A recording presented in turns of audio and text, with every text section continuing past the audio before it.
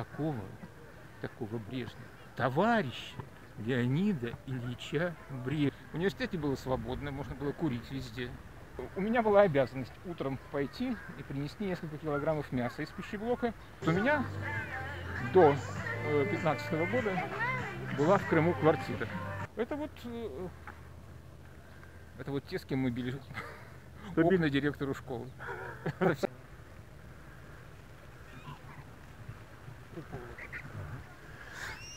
Очень красиво. Привет, друзья. Момент. Привет, друзья. Я нахожусь на берегу Обского моря. Э, и не случайно. Я не просто приехал сюда отдохнуть, и вовсе не отдохнуть, а для того, чтобы поговорить с Алексеем Петровичем Мананниковым. Ну, представление не нуждается, по крайней мере, для тех, кто наблюдает за Новосибирском, за новосибирской политикой последние 30 лет. А вот и он. Алексей, привет. Привет. Очки надел. Так что ты говоришь, что ты говоришь, что там, э, где там университет? Вот он, вот он, купол над лесом, это новый корпус университета. Вот сейчас солнце неправильно падает, а когда оно правильно падает, он золотом сверкает. Как будто церковный. Ну и как ты, тебе это какие-то ассоциации с юностью дает, когда ты видишь эти сияния? Не, вот это никаких. У нас такого корпуса не было. Когда ты учился в университете? Построенного в лесу, против чего все экологи возражали, я тоже возражал. А они взяли и построили. Ну нет, ну может быть толк какой-то есть. Но все-таки новый корпус. Когда ты учился, было тесно в университете? Я тесноты не замечал. В университете было свободно, можно было курить везде. Просто вышел из аудитории и куришь. Если это семинарские занятия, не лекция, и преподаватель курящий, то курить можно было и в аудитории. Ничего себе, вольности какие. Подожди, это, какой, это же были начало 70-х годов, да, и середина 70-х годов? 73-78. Угу. Ну какие вольности? Это, это везде были такие вольности, по-моему.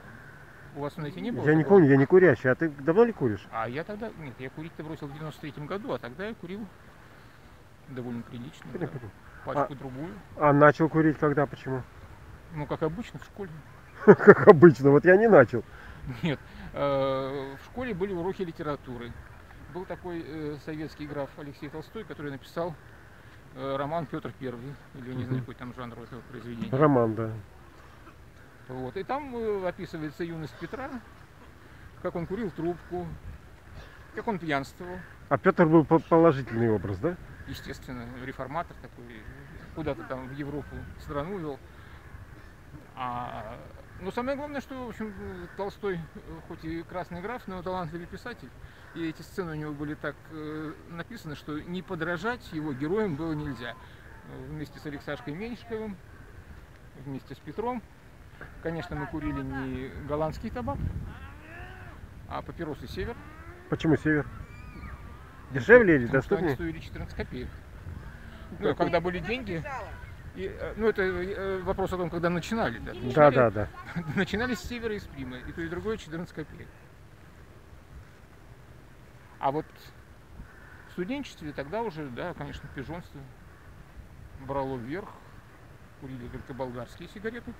Ну, а если уже водились Импортные, деньги, получается, да? если уже водились деньги, то иногда там встречались и американские. Слушай, а откуда у студентов в 70-е годы вводились деньги?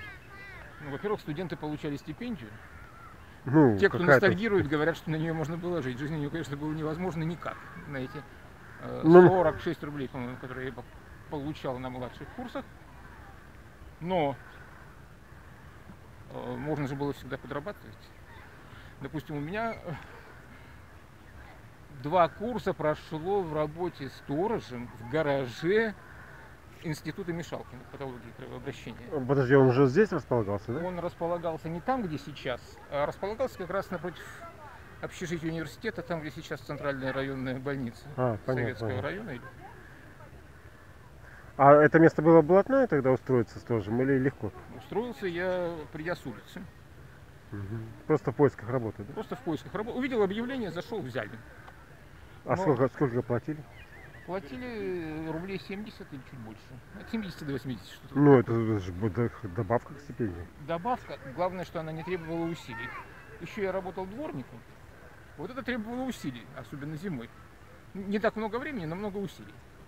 А гараж это было вообще замечательное место. Подожди, еще был еще и гараж, третье место? Нет, вот это сторожем в гараже, А, патологии кровообращения. Потому что э, водители это были востребованные люди. давай я зайду с другой Им стороны. надо было привозить м, людей на пищеблок, чтобы они готовили завтрак больным. А раз надо было привозить людей на пищеблок, то, естественно, из пищеблока, как всегда в Советском Союзе, все разворовывалось.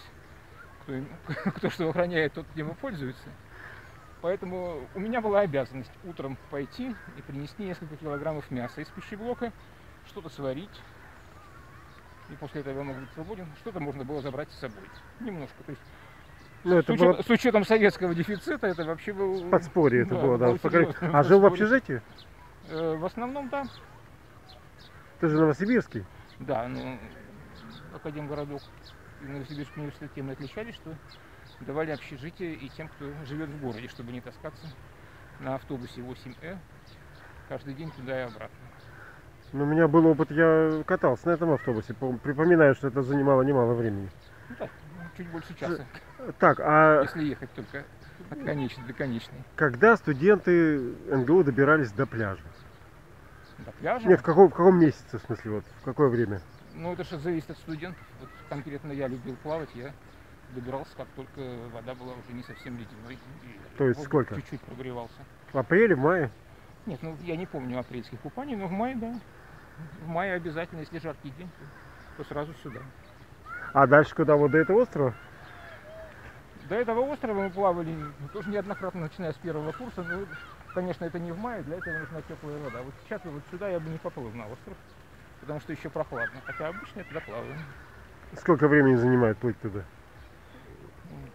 Часок-то потребуется, не торопясь. Часок обратно. Спокойно плывешь целый час. Я бы не решился. Нет, вот тут же вот э, э, раньше все время думал, как бы не попасть под какой-нибудь катер, Ага. который здесь шныряет туда-сюда. А сейчас народ э, стал культурный, если видит, человек плывет, они даже притормаживают и спрашивают, не нужна ли помощь. А раньше не были, не были не столь культурны.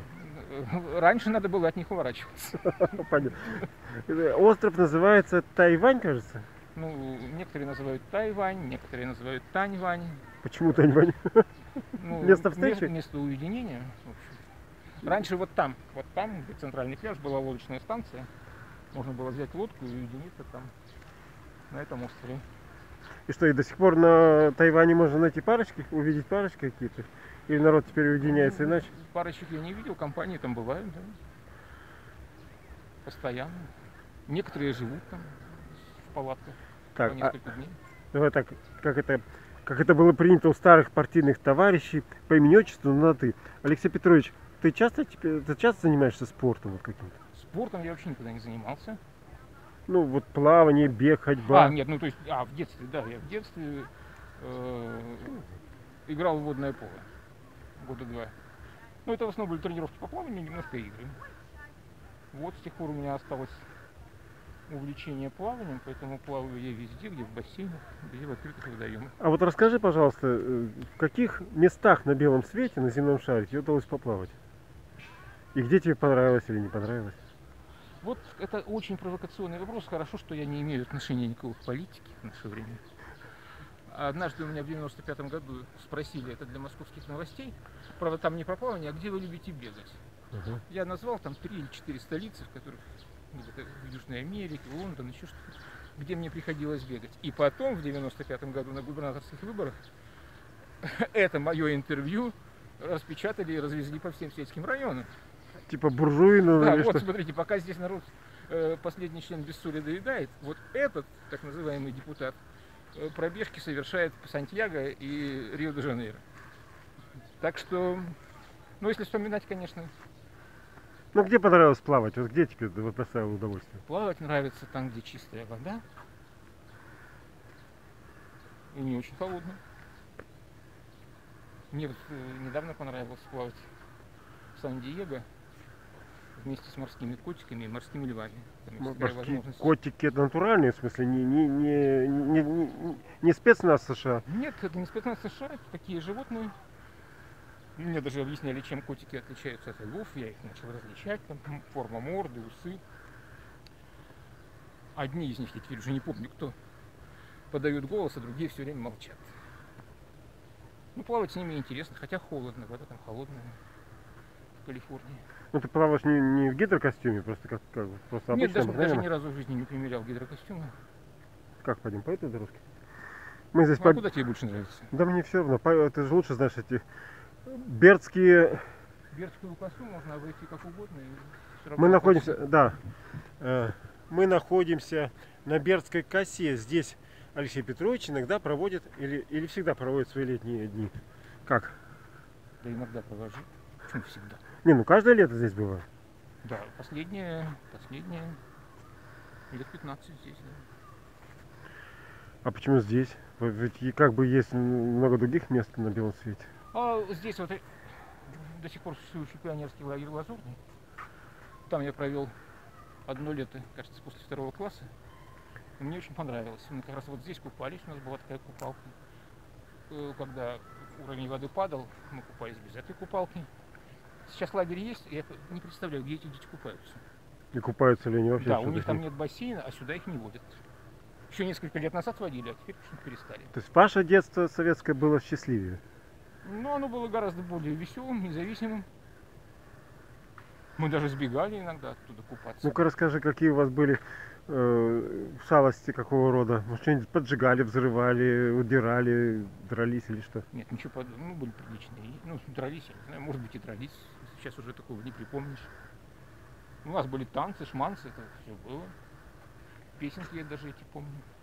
Прожил, добыл черный кот за углом. Ну, это была не, это была не пионерская песня. А по радио крутили те песни, которые нравились вожатым, а не пионерам. Ну и пионерам эти песни тоже нравились, больше, чем пионерские. Самая популярная, по-моему, в том году была песня «А у моря, у синего моря». Да-да-да. На японском. На японском. япон- на японском языке, да? Ну, на каком-то иностранном. Я даже не помню, она на японском появилась сначала или сначала на русском. Наверное, сначала на японском, а потом уже перепевали всякое. Ну да, да, да. В Японии доводилось бывать? Да, я там немножко учился. Учился? На какие-то... А, ну, если это можно назвать учебой, да. Обмен опытом с японскими парламентариями случился в 95-м, по-моему, году я там был. В том числе э, принимал нас депутат с Хоккайдо, с самой северной конечности. Побратим города Новосибирска, кстати.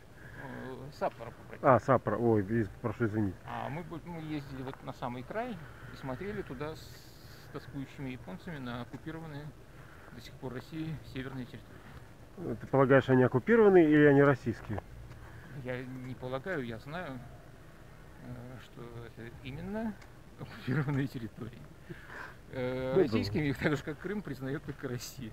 Понятно. Другое дело, что никто не требует, поскольку это военные трофеи, их немедленно вернуть Японии. До заключения мирного договора. Но мирный договор мы никак заключить не можем. Ну, бог с ними, мы сейчас с тобой не, не, не, не в состоянии повлиять на заключение мирного договора. А вот про школы, про всякие учебы. э, вот очень интересно. Тебе довелось учиться в двух школах, если я правильно помню. В университете, в аспирантуре, ну и другие университеты. Вот что повлияло на твою личность больше? Университет, например, или э, зоновка, когда ты сидел, или как по-русски говоря, в тюрьме? Вообще э, у жизни есть такое свойство влиять на человека.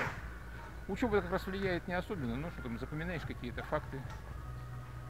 А обстоятельства жизненные, они как-то влияют гораздо сильнее. Поэтому, ну,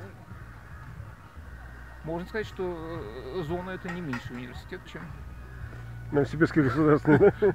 да, Новосибирский государственный. Чему тебя научила зона? Ну, есть же общий этот самый арестантский принцип. Не верь, не бойся, не проси. То есть я, я его пытался усвоить и где-то в чем-то усвоил, но не до конца. Ну, это с первых дней зоны э, ты его освоил или потребовалось время? То вот не бойся и не проси я усвоил четко, и этому следует. Не бойся и не проси. Да. А вот не верь, с этим у меня не, не получается до сих пор. Очень часто попадаю в просак, доверяя людям. Вот как. И полагаю, что зря. Или все-таки иногда стоит верить Поверить вообще, э, вообще не стоит. людям? Не стоит? В наше время Штирлиц верить А. нельзя никому, даже себе. Мне можно. Да-да-да. Примерно так. Все помнят, кто, кто помнит. А, как, как бы это сформулировать? Э, Кто не помнит, тот вспомнит эту фразу великолепного Броневого. Помнишь этот анекдот? Самый первый анекдот про Штирлица какой был? Штирлиц выстрелил э, в Мюллера. Пуля согнулась и отскочила. Броневой, подумал Штирлиц. Это был разве самый первый? Это вот из серии Штирлица, да, я помню как первый. А тебе какие анекдоты нравятся? Неприлично мне больше нравится, поэтому я ничего не, не могу сказать. Слушай, а вот на зоне э, мы сейчас, если это, если эта тема неприятна, скажи, не будем Почему ее не обсуждать. Э, Вот насколько жизнь отличается от обыденной? Рассказывают ли там анекдоты, вот какие-то истории, или вот в чем разница? Вот ты, э, Проблема в том, что я сидел на общем режиме, где контингент такой. То есть там можно найти иногда. Мне встречались такие люди, с которыми можно не только анекдоты рассказывать, даже э, стихи читать. А, но основной контингент, с которыми не пошутишь. С ними надо разговаривать очень серьезно и уверенно. А, а так э, попадались, конечно. и- а, вот мне интересно, ты был московский аспирант. Сколько тебе оставалось учиться? Ну, для формального полтора года То есть ты там пол- э, полтора года проучился, да? В Москве? проторчал в Москве, так скажем. Ну, уже Что, что такое освоился. учеба в аспирантуре? Это ты занимаешься чем хочешь. Вообще, что такое наука? Это Какая была- какая была за тема? государственный счет. Тема была у диссертации? Э, Официально она не была утверждена, но, Ну, приблизительно. Но она касалась категории прибыли в условиях государственного монополистического капитализма. То есть такая А, советская, но, Но по- про них, но про них все-таки. понятно. Чуть ближе к жизни. Ну вот ты был такой московский аспирант, вольная жизнь, и вдруг тебя закрывают... Куда? В Лефортово определили первый день? Да, в Лефортово это замечательное место. Вот расскажи в сам момент, э, как забирали, вот, вернее, не сам, мне, мне интересно впечатление внутреннее, вот какие страх или удивление, или что это было? Нет, ну, изумление это основное. То есть, когда обычный день, у меня назначена встреча с научным руководителем. Я приезжаю в институт, захожу на кафедру, он сидит там с какими-то студентами, э, долги принимает. Говорит, слушай, а тебя там у ректора спрашивают, просили зайти. Я захожу, меня встречают два молодых человека, сразу подскакивают при моем появлении. Алексей Петрович, нам надо с вами поговорить. Я говорю, ну говорите. Ну надо проехать э, к нам, на Малую Лудан. Поехали. Если... У меня вот только вот, извините, говорю, у меня встреча сейчас с шефом. А ничего не мелькнуло в голове? Абсолютно. А потом, говорю, мне надо еще в Ленинку в три часа Это библиотека, кто не знает. да, забрать копию. Там сложности были тогда с копированием. И меня один товарищ попросил, чтобы я для него откопировал. Мне потому что надо было несколько копий, а ему чуть больше. Поделиться копиями в три часа надо будет. Я до трех часов освобожусь. И они мне честно говорят, до трех часов ты освободишься. Ну не сказали в каком году. Да. Ой, Извини за смех это.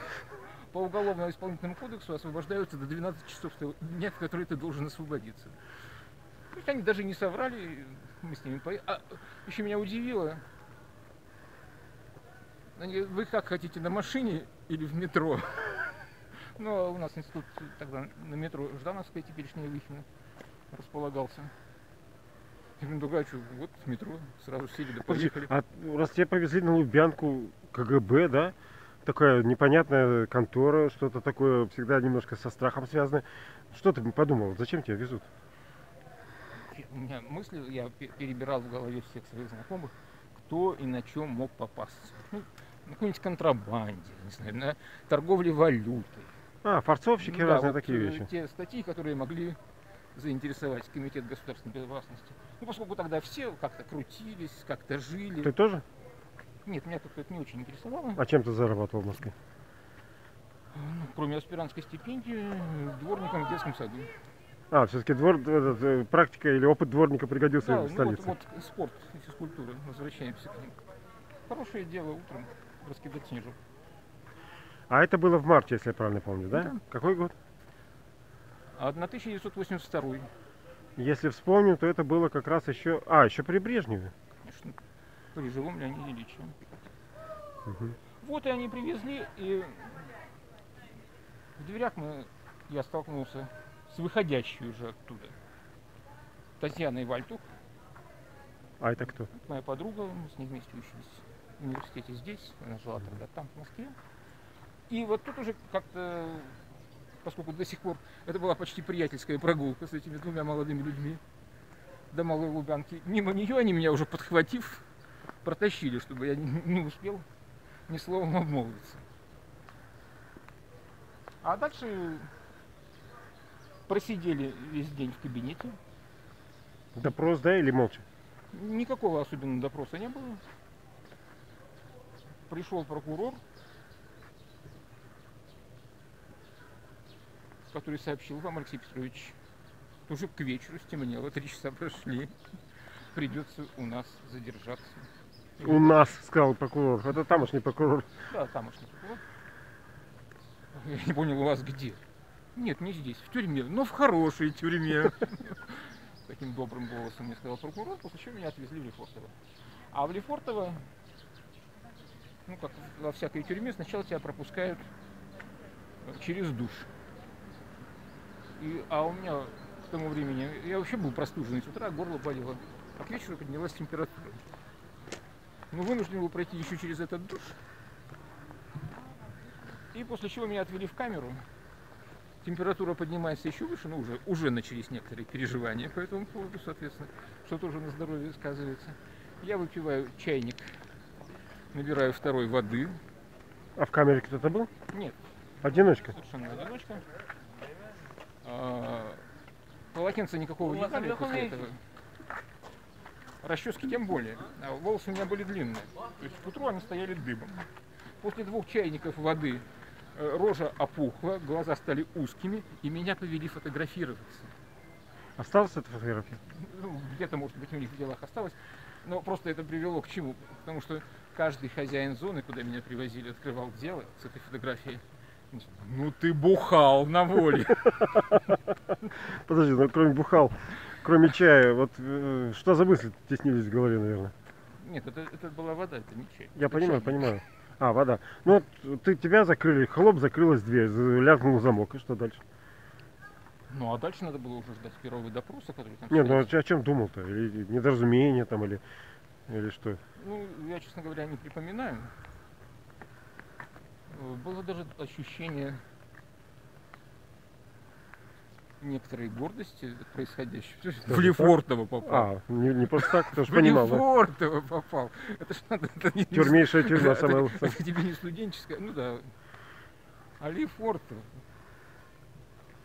То есть была оказана такая большая честь, что надо было гордиться. Другое дело, а, что я на тот момент был человеком курящим, а сигарет там никто не дает. Мгм. И вообще там э, сыро, душно, температура меняющая.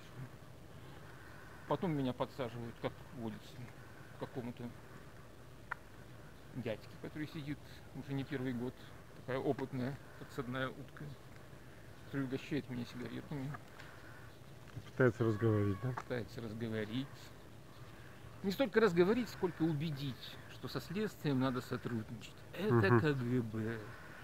Все бесполезно. Не будешь сотрудничать, сядешь надолго. Слушай, тебе дали три года. Это какой был? Это было максимум, минимум или по той статье? Это был максимум по той статье, и я думаю, что они просто переживали, уже дав эти три года, что дали мало, что надо было давать Почему? 70-ю. Э, Потому что они мне предложили, ну они всем предлагают сотрудничество сначала. Сказали, ты напиши покаянное письмо. Причем предложи, приказали мне письмо некоего человека, который, которое только что было вот тогда. Разговор уже был в апреле, опубликованное в апреле в Московской правде. Мгм. Вот такое примерно письмо, Покаянное. покаянное. А, публичное. Ну да, которое вы опубликовали. А в чем тебе, что тебе предъявляли? Вот эти вот, э, как я слышал, какие-то письма друзьям. Да. То есть ты должен был покаяться, что ты друзьям писал всякую фигню. Да, что я клеветал на советский строй своих письмах. Под, для них, что было важно, под влиянием прослушанных передач западных радиостанций. А, ну, я, конечно, иногда слушал передачи западных Ну, как все радиостанций, тогда. но э, то, что я писал, все-таки у меня был тогда допуск в спецхран, и я читал э, иностранные журналы. Для, мол- для свободно. молодежи спецхран это что? Это то место, где, ну, для меня, там э, могли быть разные документы для служебного пользования. Тот спецхран, которым пользовался где просто были западные газеты и журналы, куда советских людей не пускали. Понятно. Ну, ты читал по-английски. Конечно.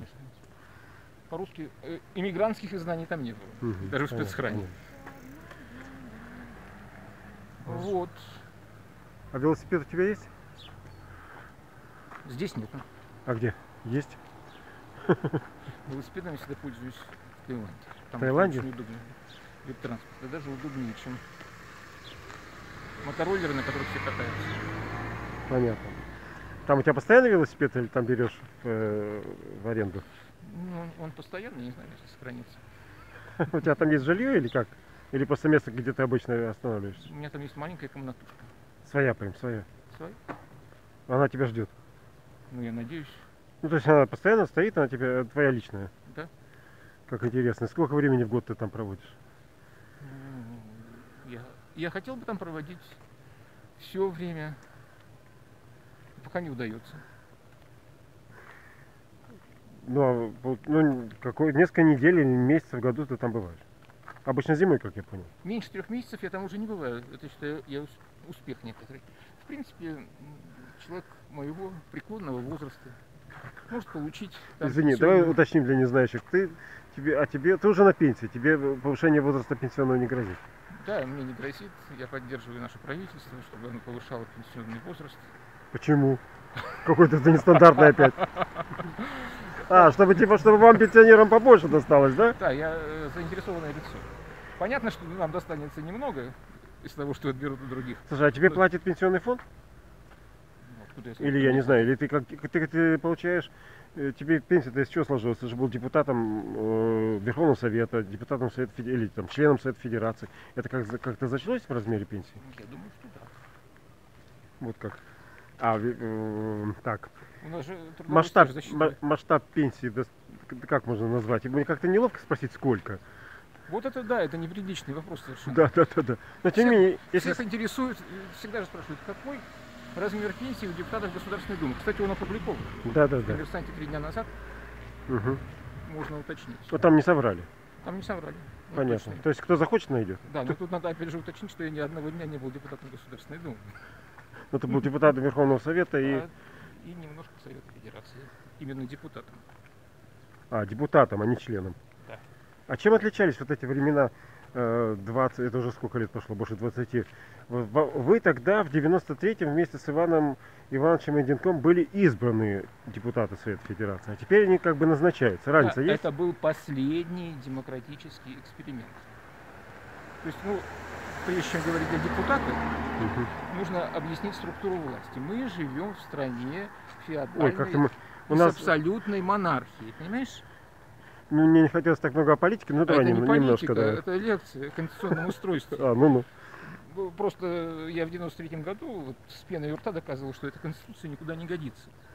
Она дает одному лицу безграничные полномочия. Я Лицо помню, помню, как... называется президентом, а не фараоном. Я помню, почему-то Манаников был против. Манаников вообще часто против.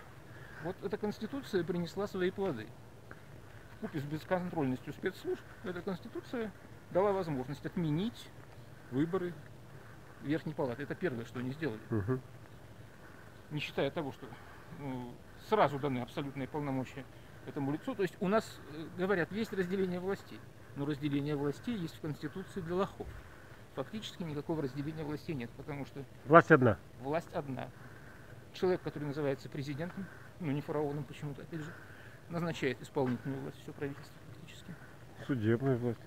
Назначает всю судебную власть, все 25 тысяч судей, которые называются федеральными, назначены подписью одного лица и обязаны ему служить. Когда говорят, что идите в суд ищите правду, в защиту закона они служат не закону, они служат тому, кто их назначил, кто им гарантировал пожизненное содержание Секундочку, сколько судов ты через себя пропустил? Сколько тебе довелось здесь судебных заседаний провести уже после, вот в, в новое российское время? Можешь посчитать? Я могу засчитать только число уголовных дел против меня возбужденных, их пять. А судов, вот э, Сколько процессов, было- по крайней Сколько мере? было процессов, э, я не считал. Ну, десятки. Ну, десятки. Так То вот, есть, то есть э, ты знаешь, о чем ты говоришь? да, вот эта вот абсолютная власть, некоторым еще кажется, вот, ну, всегда забавляют, допустим, там партия Яблоко у нас в Новосибирске особенно, участвует в избирательных кампаниях, пытаются кого-то избрать в Государственную Думу. А зачем все эти игры?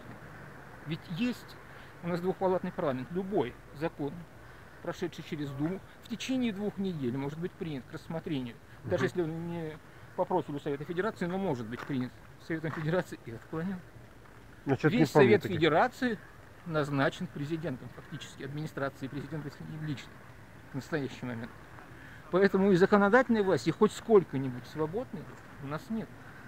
Слушай, а если вот сегодня, завтра, а, не завтра, в сентябре, новый губернатор, ни с того ни с сего, ну, может быть, э, э, неважно почему, придет и скажет, Алексей Петрович, а не хотите ли вы быть членом Совета Федерации от правительства Новосибирской области?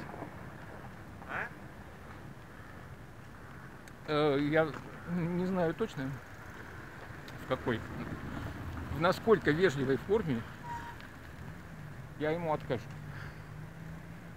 Говорят, Дело раньше... в том, что я когда-то состоял с тобой в одной организации, она называлась Демократическая Россия. Да, было такое. Эта организация в течение трех лет, с 90 по 93, по-моему, и дальше, Мгм. ну, с 90 до 93 это вот просто, в 92 собирались подписи, больше 40 тысяч, вполне квалифицированных подписей собрали в Новосибирской области за проведение прямых выборов губернатора. Помню. А теперь э, у нас нет губернатора. Губернатора в смысле демократического. Есть назначенный э, царем или фараоном, Кандидат. Ну вот, опять же, кандидат, ес- если мы всерьез относимся к тому, что они называют выборами, но всерьез к этому относиться нельзя. Есть просто назначенный человек. Человек, который э, обязан блюсти интересы того, кто его назначил. Как все 25 тысяч судей федеральных блюдут интересы одного лица и, или группы лиц, стоящих за этим же лицом, так и назначенный губернатор будет блюсти интересы только этого лица. Поэтому вот когда Тимур Ханов проводит опросы насчет, каким должен быть народный губернатор, Мгм. народный губернатор должен быть избран народом, и народ его должен свободно выдвинуть. Понятно. Свободных выборов у нас нет и близко, выдвижения нет и близко. То есть предложение, если вдруг э, ничтоже сумяшься тебе но, ну, вновь избранный губернатор предложит стать членом Совета Федерации, ты его пошлешь. Ну да, ну, я постараюсь это сформулировать повежливо. Повежливее. Вот я в те самые преснопамятные 90-е годы э, хорошо помню, что Алексей Петрович Манаников был человек удивительно вежливый, э, удивительно литературно выражающийся, по-хорошему, на хорошем литературном языке.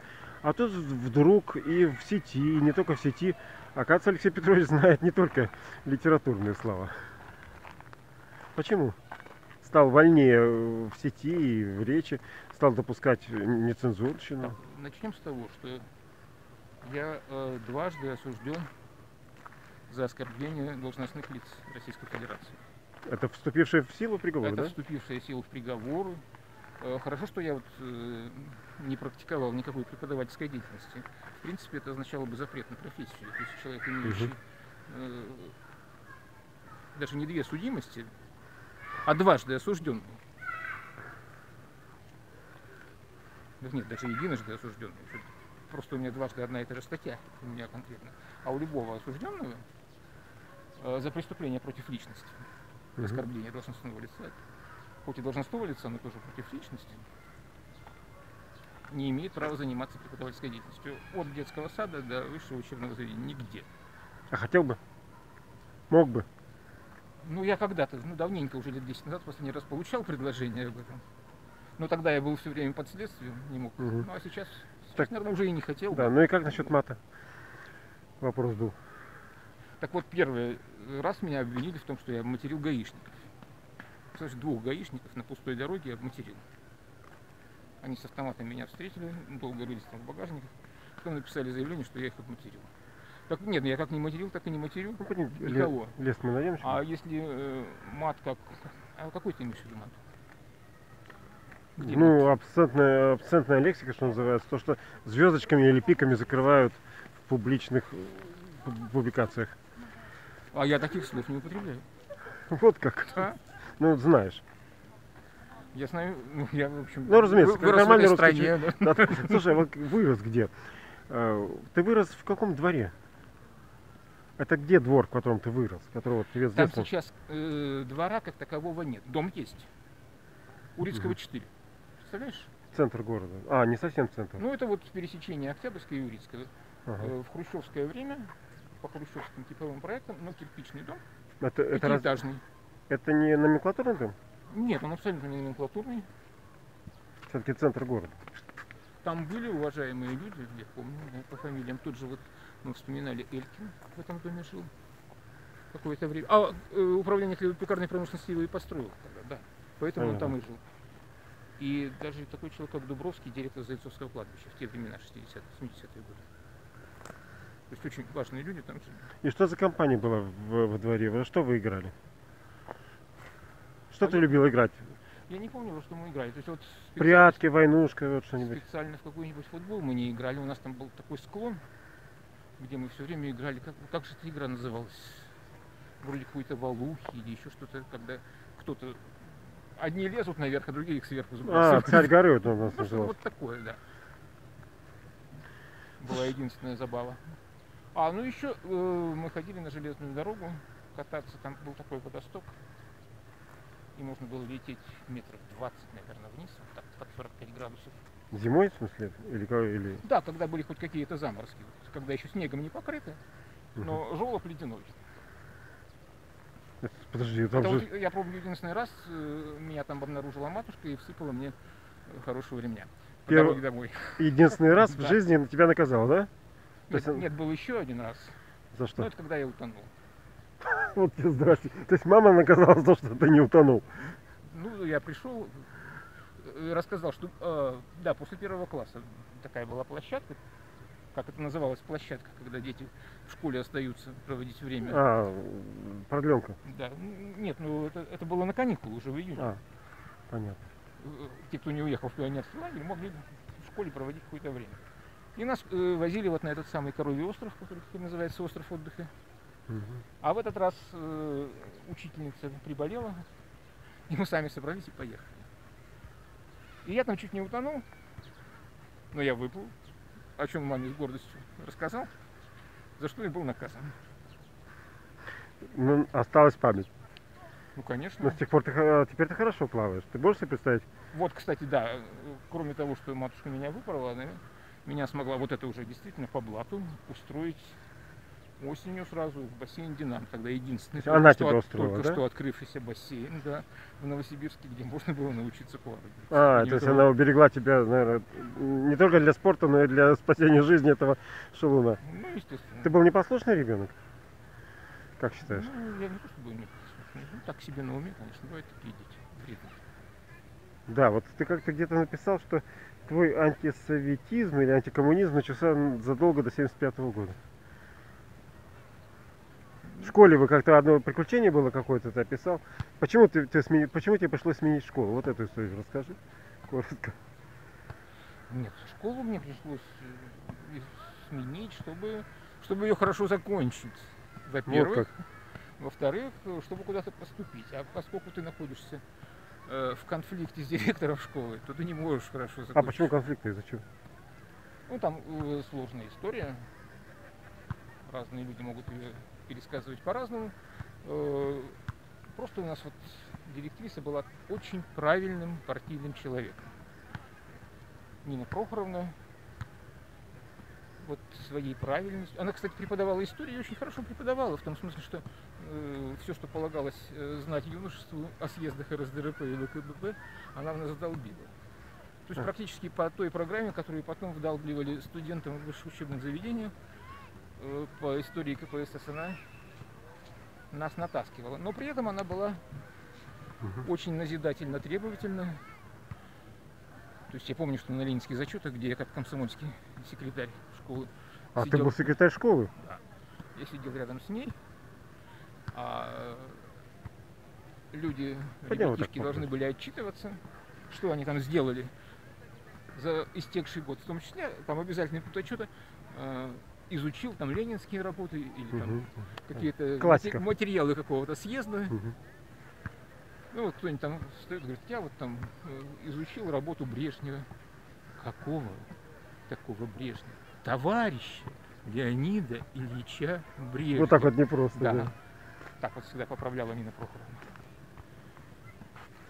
Ну и, естественно, она- Извини секундочку. Вот если бы ты ее сейчас увидел, ну я не знаю, жива ли она. я очень сомневаюсь. Ну, тем не менее, вот если бы ты сейчас ее увидел, как бы ты к ней отнесся?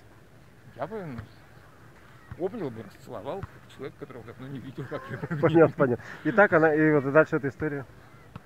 А, нет, э, а дальше она требовала от всех правильных причесок. А надо вспомнить, что это было начало 70-х, когда мальчишкам хотелось носить длинные волосы. Да. И все, конечно, ее слушались, а вот комсомольский секретарь не слушался. Орать она на меня не орала, но она всем говорила, вот идите из класса немедленно, когда она со своего урока направляла, идите и возвращайтесь только подстриженные. Да, было такое, помню. Да, Когда ну, учителя определяли стрижки своих учеников. а в результате я, что называется, стал вольнослушателем. Я приходил тогда, когда э, считал нужным подстричься. Неделю спустя, две, три. А сейчас я вижу у тебя короткая стрижка. Почему? Мода сменилась. И вообще волосы уже не те. Пышность не та. То есть ты за модой следишь? Ну и там еще э, была большая история ее конфликта с учителями, когда почти все учителя ушли из школы. Ну и есть с ними заодно. Ну, короче, у вас был конфликт, поэтому тебе пришлось...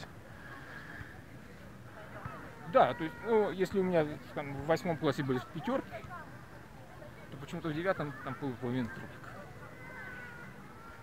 После Как- десятого же надо было... А, тогда еще считали же средний балл. Да, да, да, да. При зачислении. Как ты выбрал себе университет? Совершенно случайно. Э, Потому что как-то вот э, у меня образовался большой пробел в физике, и я решил поступать туда, где физики нет. А у нас еще в 10 школе был хороший учитель физики, который просто разделил класс на три части. Два человека у нас были, которые поступали на физфак в НГУ. Он с ними занимался отдельно. Почти весь класс, который поступал в технические вузы, где надо сдавать физику. Он с ними тоже занимался плотно, но не отдельно, по программе. И я и еще несколько человек, которые не собирались никуда поступать, поэтому Могли- Бесперспек- могли Бесперспективный. то есть. туда, где сдавать физику, да, и могли заниматься чем хотели, даже ходить за пивом во время урока физики За пивом себе или кому? себе и учителю после урока выпить. Вы носили учителю пиво? Ну что значит носили? Э, Пиво в бутылках можно было купить только в универсаме, только в утренние часы. Да, да, да. Если кто не успел, тот опоздал. Мы успевали принести учителю пиво, да. Десятая школа, она особенная. Да, я не могу себе представить, что в начале 70-х даже подумать о таком. В 11 когда Ты в 10 час, а я в 11 Что про нее такое подумать. Нет, это, это касается только вот одного конкретного учителя физики. Как его звали, помнишь? Его звали Сергеем, я вычту не помню. Ну, понятно. Вот его бы ты, конечно, точно обнял, если бы увидел. Вот, по-моему, его нет в живых уже. Ну, я понимаю, времени много молодым. прошло. А когда ты последний раз встречался с однокашниками, одноклассниками? Где? Ой, я давно встречался с одноклассниками. Если говорить про третью школу. Нас совершенно случайно одна наша соученица собрала, по-моему, в зоопарке в 2007 году. И я удивился тому, что как много, оказывается, уже ушли из жизни наших одноклассников. От чего они уходили? Это какие-то возраст такой или что? В чем особенно? Ну, все какие-то болезни. Цирроз печени? И это тоже. А э, еще были два отчаянных хулигана классных, которые присутствовали на встрече, которые раньше могли наспор и бутылку портвейна из горла выпить, и водки, э, не отрываясь. Но они не выпили ни капли, здоровье не позволяло. Понятно. Вот ты а пос- вот э, те, с кем я учился в 10 школе, там встречи происходят регулярно. Я, правда, редко бываю. ну, последний раз был, наверное, года три назад. Там все здоровы, что характерно. И не только успевай наливай, и на здоровье не жалуются. Сам ты, а ты как, какой, какой категории от себя относишь? Успевай, наливай? Нет, я, я почти не пью, у меня норма. Чем она ограничена? Не больше бутылки красного вина, сухого, конечно. Ну это здоровье День. или здравый смысл? Э, Это привычка. Привычка. И, в общем, да, она укладывается в рамки здравого смысла. Это средиземноморская диета, если хочешь. Если не Россия, то в какую страну ты поедешь жить? Да я уже почти живу в Таиланде. Э, Тайский нравится. язык освоил? Даже, даже близко. Ну, чувствительный, может быть, там. А, типа в Спасибо. магазине, чтобы, да? Да. А за почему там? Что там хорошего? Там тепло. Вот. Вот. Вот сейчас прохладно по тайским понятиям. Человек, который э, 60 лет прожил в сибирской ссылке, я думаю, может рассчитывать на старости лет на, нем- на некоторое количество тепла. Чего я, собственно, всем желаю. Там, кстати, русских очень много. К Это- сожалению. Это дорого вот так поехать туда, полететь, там жить. ну, э, поли- э, как тебе сказать, жить довольно дешево. Если ты там живешь постоянно, если ты не ходишь по ресторанам и прочим злачным местам, то жизнь даже по теперешнем курсе рубля не дороже, чем здесь. По меньшей мере. Мгм. Может быть, по каким-то параметрам дешевле. Ну, ты можешь стать этим рек- рекламщиком за или как рекламировать жизнь в Я Таиланде. думаю, что это, эта жизнь в рекламе не нуждается. Уже, наверное, четверть российского населения там побывала. Ну, я за всю Россию не говорю, а вот отсюда, из восточных районов, э, Новосибирск и восточнее, туда народ постоянно ездит, потому что это, это дешевле, чем Крым наш. Начиная с билетов, кончая жизнью. Вот это, Слушай, кстати, вот на политическую тему опять. Меня как раз больше всего удивляет э, в реакции, массовой реакции на Крым наш э, экономическая бессмысленность этой реакции. То есть вот у меня до 2015 года была в Крыму квартира. Я поехал в 2006 году, когда, если они будут всерьез закручивать гайки, попытаться куда-то посадить, уеду в Крым. Все-таки за граница, говорят по-русски. Во-первых, э, я пришел в агентство недвижимости. Там сидят э, не просто русские люди, там сидят граждане Российской Федерации, которые совершенно свободно э, занимаются своей предпринимательской деятельностью, те, кто хозяева, и работники, которые работают, опять же, совершенно свободно в Крыму, зарабатывают деньги. Каждый российский человек мог свободно приехать, работать, зарабатывать, покупать недвижимость, жить. Формально он мог находиться там 182 дня безо всякого уведомления. И фактически мог находиться всегда. Понятно. И зачем при этом потребовалось объявлять, что Крым наш, только для того, чтобы цены в Крыму выросли в несколько раз. То есть я просто запомнил, в 2013 году у меня любимый напиток это вино красное меганом в Судаке. Там же производится, замечательно. На вкус я его покупал за 40 гривен. По тогдашнему курсу это примерно 150 рублей. Теперь оно стоит 500. Где угодно, хоть в Крыму, хоть в Москве, хоть в Новосибирске. Э, Кому это было нужно? Кому-то, может быть, от этого и выгода, но явно не российскому потребителю. То есть ты квартиру, теперь ты свою крымскую квартиру продал. Да. Откуда у меня комната Крым? В Таиланде. С крымской квартиры. А, это крымская квартирка при, при- при- э, как переконвертировалась. Да. Отличие, отличие, вот что было замечательно в украинском Крыму, я вообще не знал, где там расположен полицейский участок. Первое, что случилось, когда я вот приехал продавать квартиру в сентябре 2015 года, это то, что меня э, забрали в милицейскую машину. На каком основании? Во-первых, я первый раз увидел полицейскую машину, и их там оказалось много. На том основании, что у меня в руке была банка пива по российским А. законам. Понятно. Меня, правда, из этой машины быстро выпустили, потому что они прочитали, что там было 0% алкоголя, оно было безалкогольное. Понятно. Но, тем не менее, сам факт, что э, Крым русским был нужен рядовому гражданину только для того, чтобы там было много русских полицейских, чтобы туда приехали российские прокуроры, чтобы туда приехали российские судьи получать свои огромные зарплаты, и чтобы из пенсионного фонда Российской Федерации 700 миллионам, Не миллионов. о, тысяч, 740 тысячам вот, Мгм. крымских пенсионеров платили бы пенсии. Поэтому вот, э, когда люди сейчас говорят, мы пойдем на митинг против повышения пенсионного возраста, а где же вы были, когда у вас вот отбирали из вашего пенсионного фонда? Вы же кричали «Ура!» А теперь, когда вам счет выписывают, вы говорите «Нет, по счетам платить не будем». Ну ладно, ладно. Это понятно. Слушай, а э, в Крыму у тебя была квартира, ты туда ездил тоже, да, вот отдыхать или как? Проводил там время? Э, Я вообще планировал там жить на пенсии. Ну, а зачем мне жить на пенсии? А в Киеве ты когда последний раз был? В Киеве я был в прошлом году, в мае, на 9 мая примерно. Ну и как там в Киеве? За русский язык? В Киеве вообще замечательно. Э, Когда ты говорил по-русски, что-нибудь от этого случалось? Ну, какие глупости. Все говорят по-русски. Если, если кто-то говорит по-украински, ты обращаешься по-русски. С тобой переходит на разговор по-русски. Я встречался там с замечательными людьми, в том числе из Сибири, э, бывшими добровольцами, которые поехали отсюда защищать независимость Украины, когда Путин начал войну в 2014 году. Слушай, а если тебе скажут, ну, ты готов взять это оружие в руки за демократию, против тоталитаризма, хоть на Украине, хоть, на, хоть где-то еще? Вот что ты, на что ты готов сейчас ради вот этих своих демократических принципов, которые, которым ты как... Оружие в руки и демократические принципы это где-то вот чуть-чуть разные вещи. Какие принципы? Демократические принципы и оружие в руках это, это чуть-чуть разные вещи, Ага. скажем так. Демократические принципы это принципы устройства государства. Единственное, что я могу сказать, что без оружия в руках, когда изменить сложившийся в России режим невозможно.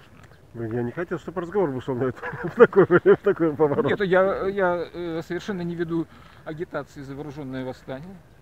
Народ доволен этим режимом. Но это такой режим, который изменить э, какой-то активностью внутри его нельзя. Ну, Здесь все под контролем. Я хотел тут больше про тебя спросить. Вот если тебе скажут, у тебя есть какие-то принципы, ты там отстаиваешь вот, э, за демократию, против режима и так далее. Э, сегодня тебе скажут, вот когда те, как те чекисты, э, сколько это уже было, 30, больше 30 лет назад, или ты при- э, помалкиваешь, и мы тебя отпускаем, или ты что-то говоришь, мы тебя сажаем в тюрьму. Продолжаешь вот настаивать на своем. Меня, кстати, не предупреждали, меня просто посадили.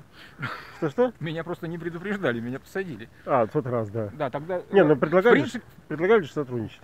уже сидящим. Мгм. И я над ними просто поиздевался по этому поводу. Почему? Ты- Ну ты- вот э, я тогда же, может быть, не договорил, потому что мне предлагали написать раскаяние. Ага. И я им написал же раскаяние. А, такое раскаяние, Такое что... раскаяние, что они к этому разговору больше не возвращались. И так, и что ты сейчас скажешь, если тебе предложат написать раскаяние или садиться в тюрьму? Сложно говорить о гипотетических ситуациях. Но я могу точно сказать, что я в 2014 году не поехал на Украину, на украинскую сторону защищать Украину, только потому, что у меня на руках была больная мать. А, это была единственная причина, Это была сказать? единственная причина. То есть, э, Больше меня не держало здесь ничего. Потому что э, вот когда происходила аннексия Крыма, это вообще единственный случай, когда я зафиксировал у себя повышенное давление. Даже так, близко к сердцу принял. Да. То есть э, я же имел отношение к переговорам о Крыме в 94-95 годах. То есть я был в Совете Федерации э, А. заместителем председателя Международного комитета. И тогда был какой-то спор о Крыме? Тогда шли большие дискуссии о Крыме, они предъявить ли претензии, они попросить ли Украины. Но когда Украина в рамках переговоров о ядерном оружии пошла на то, чтобы вообще отдать все, вернуть все баллистические ракеты, все ядерные боеголовки на территорию Российской Федерации, когда был подписан э, Будапештский меморандум о том, что Россия становится в том числе гарантом территориальной целостности, ну, большего требовать было нельзя. Все согласились с нерушимостью украинских границ в обмен на безъядерный статус Украины. Все. Вопрос был закрыт категорически. Поэтому то, что произошло в 2014 году, это уже было таким вероломством. Считаешь, что это непорядочно, по меньшей мере? Э, Гитлер поступал порядочно. Гитлер поступал порядочно? Совершенно порядочнее. А, порядочнее. Поряд- Да, по крайней мере, о планах аннексии он предупреждал заранее. Аншлюз э, с Австрией происходил все-таки с соответствующей пропагандистской подготовкой. А тут в одну ночь изменилось все. Как ты думаешь, много ли людей в Новосибирске согласятся с, вот, с твоей точки зрения? Вот так открыто скажут, да, Алексей, мы э, там пожмут руку и скажут, согласен с тобой. Я думаю, что немного, к сожалению, поскольку фашистская пропаганда, то есть это вот это не ругательное слово.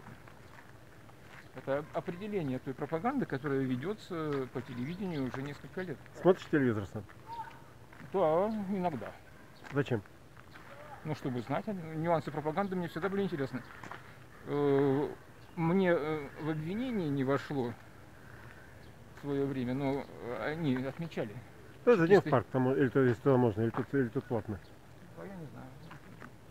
Ну, или пошли по улице. А? Здесь, здесь просто шире дорога. А, ну ладно, пойдем здесь.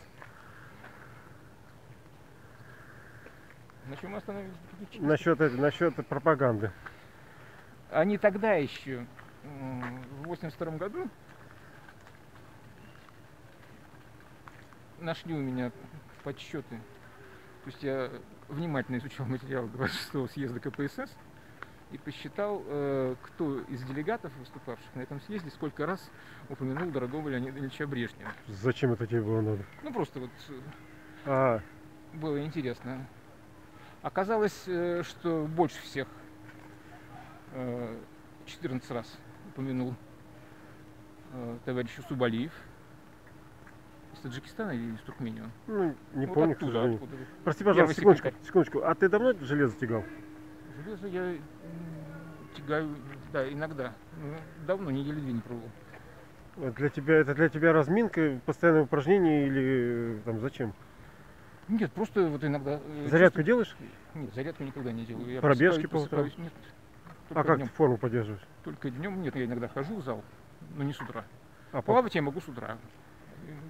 Бегать я вообще не люблю. В ну, последнее время. Раньше любил. Ты ведь за своей формой следишь? Там вес, э, об, об, объем бицепса? Вот как-то интересно, вот э, с мысли меня сбил чекист. Сейчас я вернусь, вернусь. И просто мы просто этого мужика увидели с железякой. Наверное, я тоже немножко чекист или противочекист, не знаю. Зрительно ведь Поддерживаем, поддерживаем форму. Ну, но не так, без фанатизма и вот без этого, без насилия над организмом. А в тюрьме, в, в лагере ты следил за, за физ... А, вот в лагере, да. В лагере нужно было отличаться от всех остальных. И там же вообще культ силы. Отличаться в какую сторону? В смысле... Э, отличаться... Мне даже, вот, что меня удивляло, то есть, при том, что администрация меня всегда э, пыталась как-то щемить, но даже ДПНК ни разу мне не сделал замечания. Там... ДПНК, прошифруй. Дежурный помощник начальника колонии. Да, хорошо. Там же нельзя из барака выходить э, от отбоя до подъема. Но я вставал на полчаса раньше и шел на турник, который рядышком там был, и подтягивался каждое утро. И ДПНК это несколько раз наблюдал, и даже ни одного замечания по этому поводу не сделал. А если они видели кого-то просто выходящего покурить на крыльцо, то, естественно, э, записывали нарушение режима. То есть здоровый образ жизни тебе позволил проявить себя? Да, я даже, я даже тогда установил личный рекорд, подтянувшись, по-моему, 26 раз. С тех пор я, конечно, этого повторить не мог. А, понятно. Мне вот было интересно, вот это немножко от, от, э, переходя от пропаганды и от того, как она влияет на людей. Э, мы с тобой начинали вместе, я тоже в демократической России, мы тогда довольно много людей были сторонники либеральных преобразований. Теперь таких немного. Как ты думаешь, почему в России, в частности в Новосибирске, вот эти вот самые демократы, либералы никак не умеют между собой договориться, не умеют собраться против какой-то ради одной цели. Вот почему так происходит? И видишь ли в этом свою роль? Когда-то ведь ты возглавлял как бы демократов Новосибирска? Я никого не возглавлял. Меня чуть ли не насильно выбрали председателем Демократической России. Не очень-то и хотелось, да? Да, честно говоря. Дело в том, что любая оппозиционная организация в Советском Союзе и в теперешней России на треть, как, минимум на треть, э, инфильтрована агентами тогда комитета, а теперь Федеральной службы безопасности. Которые делают вообще это, все. Извини, это предположение или... Это факт. Ну хорошо. Это факт. Возьми любое интервью книги Олега Калугина. А, Он не простой человек, он все-таки генерал КГБ. то есть на 30% есть шанс, что ты или я агенты. Я тебе напомню простую историю, которая приключилась с тобой у меня в кабинете. Вот как. Когда там пропали какие-то деньги. А, ну, ну, И ну. на кого показали? Ты помнишь, на кого показали? Как на Ну-ка. подозреваемого. Показали на тебя. Да, да, да. И кто показал? Ты помнишь? Да. И кто этот человек? Как он связан с КГБ? Как вы позже выяснилось? То есть главное, э, вот его задача на тот момент посеять недоверие. Люди не должны друг другу доверять. То есть ты видишь э, вот это вот именно противодействие агент, агентуры. Вот по- почему люди не могут между собой сговориться. Да. В Новосибирске, вот, допустим, до сих пор, по-моему, существует такая газета, как Новая Сибирь. Конечно, есть. Есть? Вот это вот давно задуманное э, на деньги разных спонсоров, иногда даже на деньги администрации, на пер- первоначальные издавалось. Ну, может, сейчас Иван есть какие-то, может быть, сейчас есть какие-то у них контракты. Но в принципе это чисто чекистское издание для того, чтобы э, создавать сумбур в головах э, прогрессивной общественности. А Ну, ничего- никакой другой задачи перед ней в последние 20 лет, она примерно 20 лет существует, да, не ставилась. Когда-то она была влиятельна, теперь, теперь даже они не скрывают. У нее хозяин Игорь Макурин, который в КГБ служит вообще неизвестно сколько лет. А, бог. Слушай, а вот ты как ты ходишь так по улице? Вот ходишь и не оглядываешься. Или оглядываешься. Ну, все-таки агенты тебя прочие, ты вовсе не друг режима, кругом, кругом вот эти Ты вот. понимаешь, э, вот э, если, Вот мы идем с тобой, ты не оглядываешься. если будет принято решение от, о твоей ликвидации, то ты хоть заоглядывайся. А если просто кто-то смотрит, куда ты идешь, и тебе надо скрываться, если... А, кстати, вот это интересная тема. Мне когда-то, когда я работал в Москве в гласности, несколько раз приходилось уходить от слежки. Это, вот, Это конец 80-х годов? это 88 год конкретно. Мгм. Они как-то очень интересно. Вот, э, я шел ночью от приятеля. Мы сидели немножко, выпивали. Его матушка пошла выгуливать собаку. Возвращается и говорит, а у них такой относительно глухой район. Слушай, вот тут в подъезде стоят двое молодых людей. Обычно у нас, говорит, какие-то алкаши тут собираются. А тут двое стоят в галстуках и не уходят. А я, говорит, потом прошла за дом, и там под окнами трое стоят. Алексей, наверное, это по твою душу. Я говорю, ладно. Сейчас мы, сейчас, сейчас мы их проверим. Я выхожу и иду. Ну, естественно, я ушел совсем, чтобы не возвращаться. Я дошел до метро, и сколько я не оглядывался, никого не увидел. Метро было Варшавское.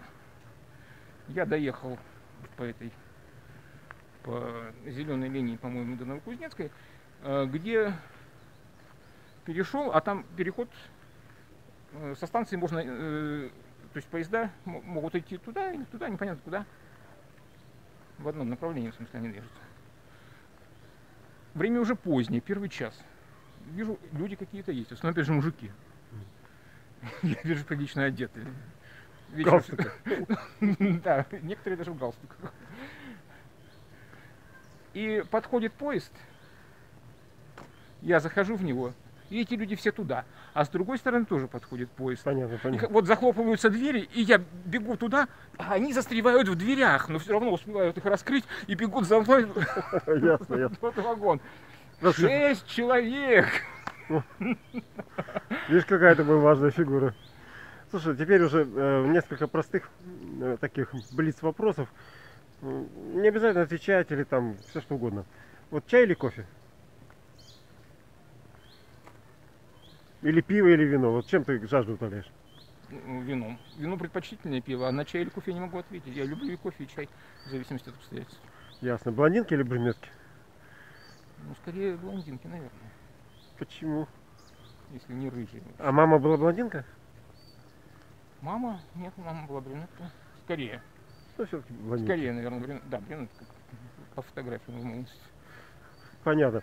Если можно э, пройти э, за 15 минут пешком или за 5 минут проехать на такси, будешь такси ловить или пойдешь пешком? 15 минут, конечно, пешком пойду. Ну, А какой предел вот между выбором времени такси и вре- временем пешком и вызовом такси? Нет, ну всегда лучше пешком, если у тебя есть достаточно времени. Я- это в любой стране? Любой. Сколько стран ты посетил? Считал? Нет. Почему ты сейчас много путешествуешь? Это любопытство или какая цель? Это понятно. Я. Нет, просто я много лет был не выездным. По двум причинам. То есть уголовные дела, Я то был объявлен в розыск, то у меня была подписка, подписка о невыезде 6,5 лет, как посчитали теперь в Европейском суде длинность. А потом у меня мама была на руках долго, которая не позволяла отлучаться. Больная мама. Да. Да. То есть вот в общей сложности лет 15 я был практически невыездным. И теперь компенсируешь. А теперь компенсирую. Следующая страна твоя какая? Если не секрет. Я не знаю. Знаю, что зимой поеду в Таиланд. А какая-то страна, страна, в которой ты еще не был, но хочешь побывать? Ну, Я вот э, я был и хочу побывать в Грузии, потому что я не был в Новой Грузии, я был в Советской еще. Понятно. Из, из российских городов какой тебе нравится, кроме Новосибирска? Я в прошлом году проехал до Москвы на автомобиле, А от Новосибирска? да, и обратно. Причем туда я проехал южным путем через Казань, а обратно северным через Пермь. Казань, Казань. Казань. Ваш татарский город мне больше всего Ну, понравился. мой, мой башкирский Уфа, ну, Уфа, Казань тоже. У тебя есть люди, сколько людей, которых ты можешь сказать гарантированно, ну или так, уверенно, это твой друг? Вот он тебя выручит, он, ты можешь ему сказать все, что угодно. Вот так, то, что называется друг. Да, Есть такие? конечно. Много ли? Э, Ну, 3-4 человека, наверное, есть. Сколько лет такие они с тобой рядом? Или не рядом, но которые не можешь назвать. Это вот э, это вот те, с кем мы били Кто били? окна директору школы. Это все эти люди. Ну, может быть, добавился кто-то из э, университетских. Из чиновников новосибирских, российских, есть такие, которым ты готов подойти, пожать руку?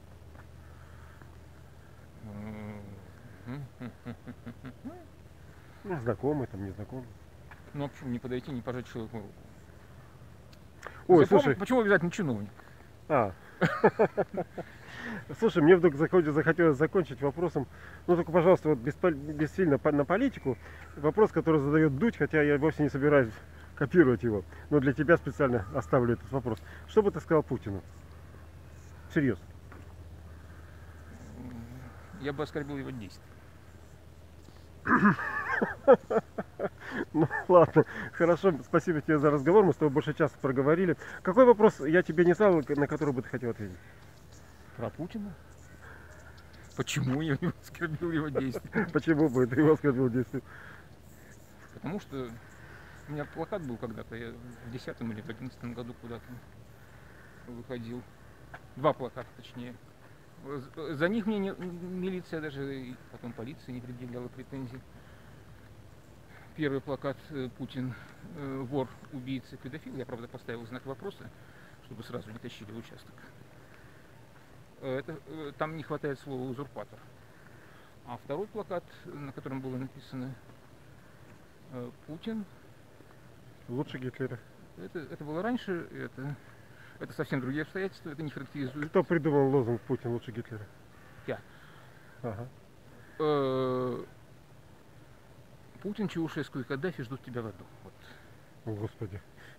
Я хотел позитивно закончить наш разговор. А это, кстати, это было бы самое позитивное окончание нынешнего периода исторического. Ну ладно, счастливо. Мы еще увидимся, надеюсь.